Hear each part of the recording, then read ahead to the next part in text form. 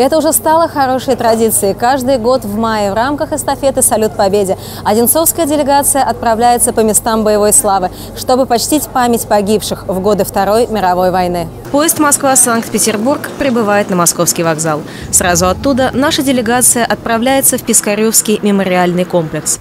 Это один из самых скорбных памятников войны. Образец мужества и стойкости ленинградцев.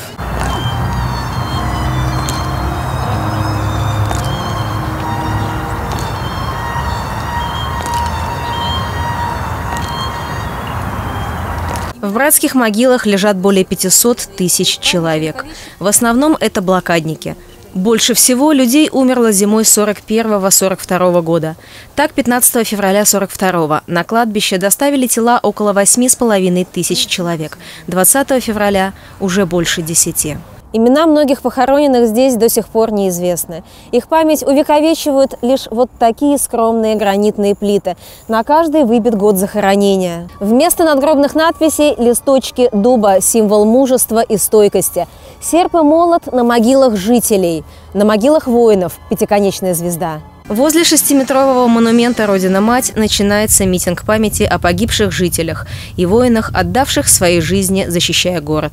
Народный молодежный театр «Студия Крылья» выступает с театрализованной программой, посвященной блокадному Ленинграду. Вы не погибли, вы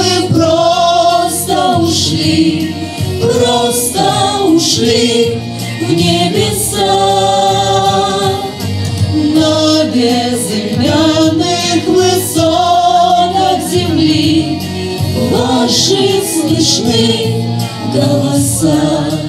У меня есть особая миссия передать слова приветствия от главы Одинцовского муниципального района Андрея Робертовича Иванова.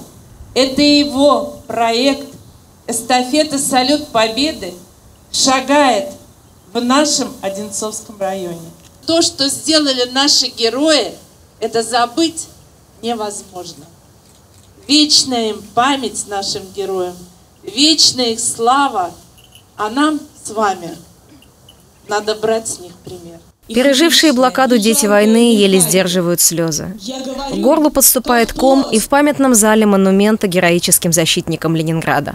Здесь можно увидеть, в каких тяжелых условиях выживали жители в 900-дневную блокаду. Вот так вот выглядит 125-граммовый кусочек хлеба. Именно столько получали в ноябре 41 года дети и иждивенцы. Рабочим выдавали чуть больше, 250 грамм. Муки катастрофически не хватало, поэтому в хлеб добавляли различные примеси.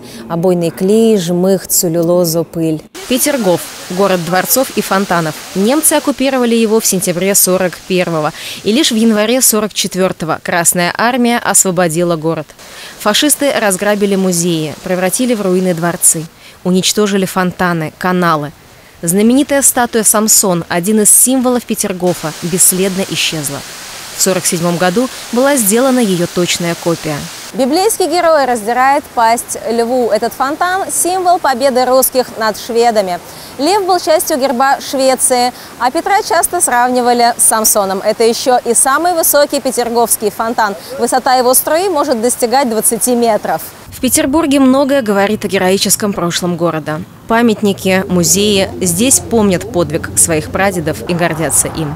Помним его и мы. Три, и может быть даже четыре разных поколения – вот участвовали в этой очень ответственной, очень патриотичной акции.